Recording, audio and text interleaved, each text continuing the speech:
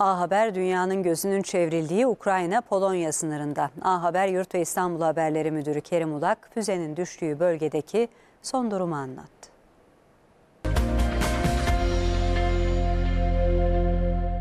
Evet sağ haber olarak çok özel bir yayına imza atıyoruz. 24 Şubat'ta başlayan Ukrayna-Rusya savaşında ilk kez bir füze NATO ülkesi bir ülkenin topraklarına düştü. Polonya'nın bir kentine dün akşam düşen füze tüm dünyanın gözünün bulunduğumuz noktaya yönelmesine neden oldu. Neredeyiz? Stratejik bir noktadayız. Ukrayna sınırında Lubnin kentine bağlı Pişevodov kasabasındayız ve Pişevodov kasabasına dün akşam bir füze düştü ve füzenin düştüğü alanda maalesef iki sivil hayatını kaybetti. Tabi olayın e, duyulmasıyla birlikte bulunduğumuz noktaya e, Polonya televizyonları adeta akın ettiler. Şu an yayınlar gerçekleştiriyorlar. Polis ekiplerinin yoğun bir güvenlik önlemi aldığını ve bölgeye şu an kimseyi sokmadıklarını belirtelim. Kameraman arkadaşım Aydın Baytar'la birlikte ilerliyoruz. Füzenin düştüğü nokta hemen karşı taraf Füzenin düştüğü ilk andan itibaren yapılan açıklamalara baktığımız zaman özellikle Letonya, Estonya gibi NATO üyesi ülkeler hemen Rusya'yı adres gösterdiler ve Rusya'ya ait füzelerin bölgeyi vurduğunu belirttiler ve Rusya'yı hedef göstermişlerdi.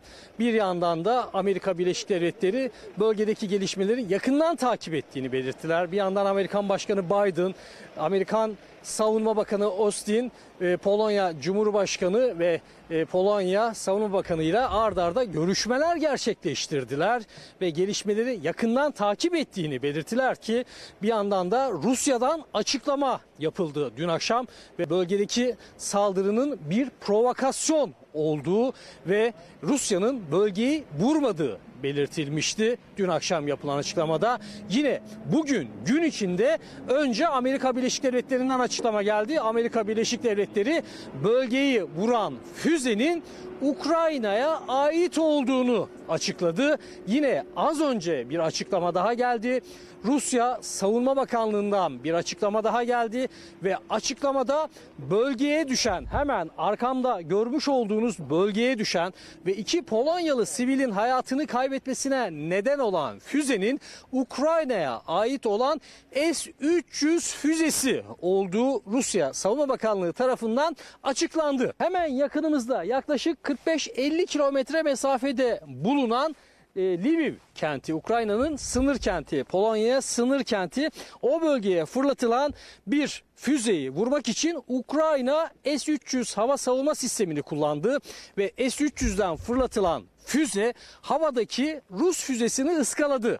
Iskalayan füze tam da işte hemen arkamda görülen bir çiftlik evine düştü ve çiftlik evine düşmesiyle birlikte büyük bir patlama meydana geldi. Bizler haber olarak şu an bölgedeyiz. Bölgede adeta kuş uçurtulmuyor. Şu an Polonya polisi bölgeye basının girmesini engellemiş durumda. Polonya televizyonları da giremiyor ki burada şunu vurgulamakta fayda var. Özellikle Batı ve Amerika ilk etapta Rusya'yı hemen hedef gösterdi ve NATO'nun 4. ve 5. maddelerin işletilmesini istedi. Özellikle NATO ülkeleri ve bu kapsamda NATO Dışişleri Bakanlığı olağanüstü toplantı kararı almışlardı ve burada aslında 5. maddenin işletilmesi için yoğun bir baskı uyguladı birçok ülke. Bölgedeyiz.